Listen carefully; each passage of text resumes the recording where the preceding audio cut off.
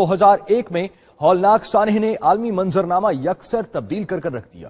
اس روز صبح آٹھ بج کر چالیس منٹ پر امریکہ میں قیامت برپا ہو گئی۔ ورلڈ ٹریڈ سینٹر سے تیارے ٹکرائے اور بلند و بالا ٹاورز زمین بوس ہو گئے۔ اس سانحے پر یہ رپورٹ دیکھی گیارہ ستمبر دو ہزار ایک کو صبح آٹھ بج کر پینتالیس منٹ پر پہلے ایک مسافر بردار بوئنگ طیارہ سات سو ستاون نیو یارک کے ایک سو دس منزلہ ورلڈ ٹریڈ ٹاور سے ٹکرایا۔ اس کے اٹھارہ منٹ بعد ہی دوسرا بوئنگ سات سو ستاون دوسرے ٹاور سے ٹکرا گیا۔ دیکھتے ہی دیکھتے دونوں ٹاورز راک کا ڈھیر بن گئے۔ ٹھیک ایک گھنٹے بعد ایک اور اغوا شدہ مسافر جہاز بوئنگ سات سو ستاون امریکی محکمہ دفاع کے ہیڈ کوارٹرز پینٹاگون پر گرایا گیا۔ بعض میڈیا رپورٹس کے مطابق اس کے آدھے گھنٹے بعد ایک اور جہاز کے متعلق خبر آئی، جسے اغوا کر کے وائٹ ہاؤس کی طرف لے جا جایا جا رہا تھا۔ یہ بھی بوئنگ سات سو ستاون تھا۔ تاہم پینسلوینیا کے مقام پر لڑاکا تیاروں نے اسے مار گرایا ان حملوں کے دوران تیاروں میں موجود تمام مسافر مارے گئے، جبکہ ٹاورز میں دس ہزار کے قریب افراد موجود تھے۔ اس دہشت گردی کے بعد امریکہ کے تمام ایئرپورٹس بند کر دیے گئے۔ سرکاری عمارتوں کو خالی کرا لیا گیا۔ بدترین دہشت گردی کے بعد امریکہ نے دنیا بھر میں وار آن ٹیرر کی بنیاد ڈالی، جبکہ افغانستان، عراق، یمن اور پاکستان کا روائی کا ہدف ٹھہرے۔ امریکہ نے افغانستان پر حملہ کیا، جبکہ پاکستان نے بھی دہشت گردی کے خلاف منظم آپریشن کا کا آغاز کیا اور کئی ہائی پروفائل دہشت گردوں کو پاک افغان بارڈر سے پکڑا۔ بعض عالمی مبصرین کہتے ہیں کہ نائن الیون کے بعد دنیا بھر کا امن خطرے میں پڑ گیا، جبکہ امریکی جوابی کارروائیوں پر دہشت گردی میں بھی اضافہ ہوا ہے۔